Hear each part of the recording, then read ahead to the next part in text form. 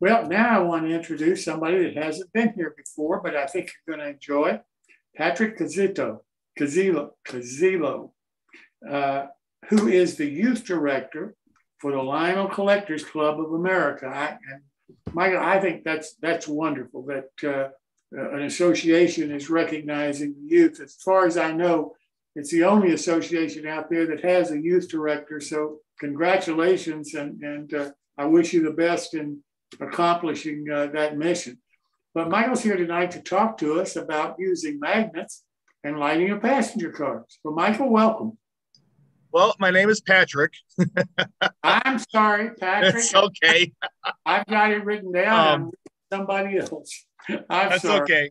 Uh, my name is Patrick Cudailo, um, and um, I do a little scratch building. I'm more of a Lionel collector guy. I've got um, Lionels from the 1920s all the way to modern stuff, and I have a high rail layout with Lionel Fast Track, and um, I kind of, you know, do whatever I kind of want to do. Um, but every once in a while, I pick up a, uh, a model to scratch build, and this is one of my recent ones.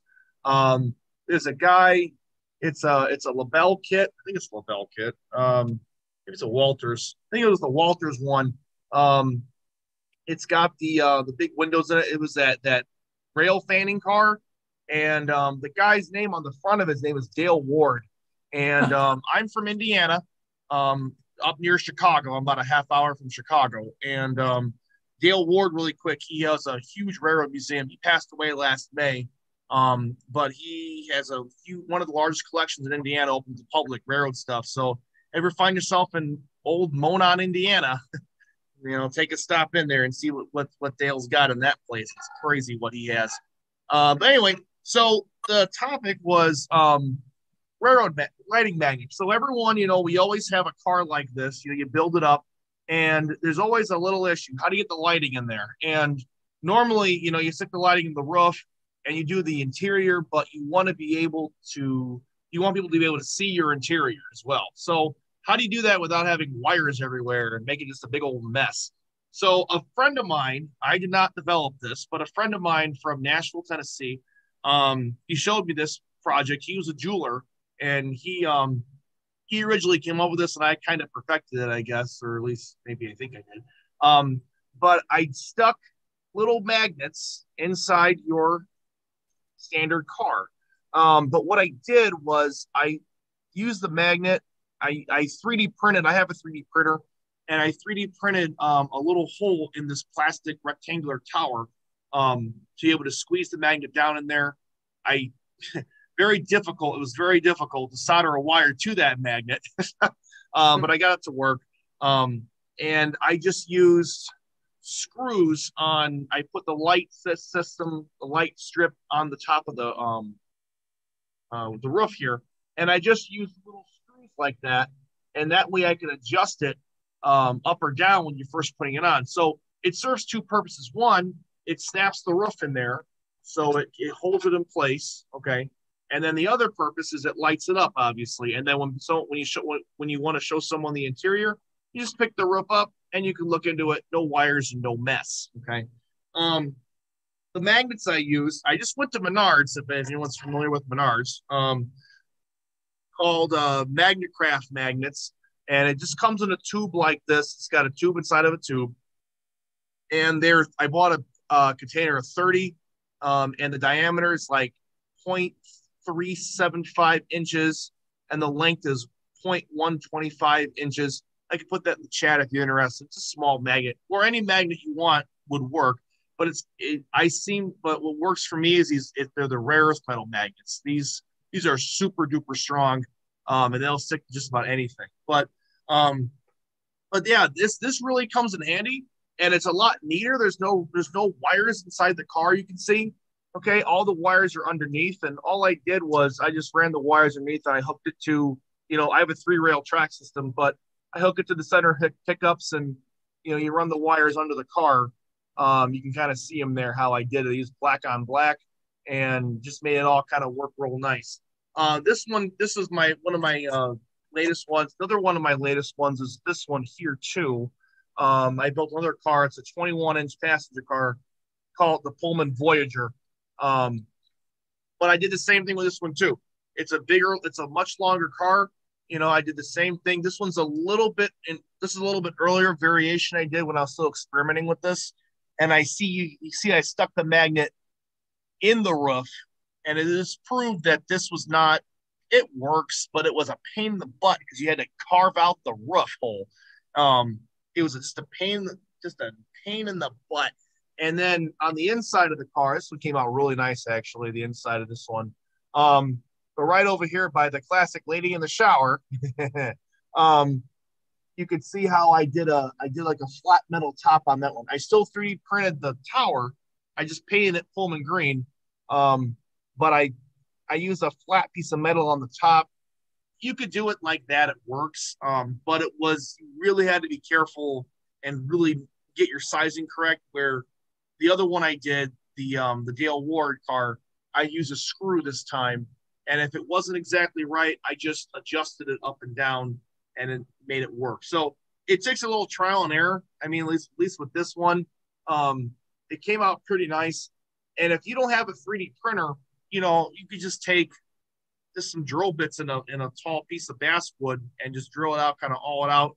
Just run a hole all the way straight down the center, um, and then run a wire through that, solder it to that magnet.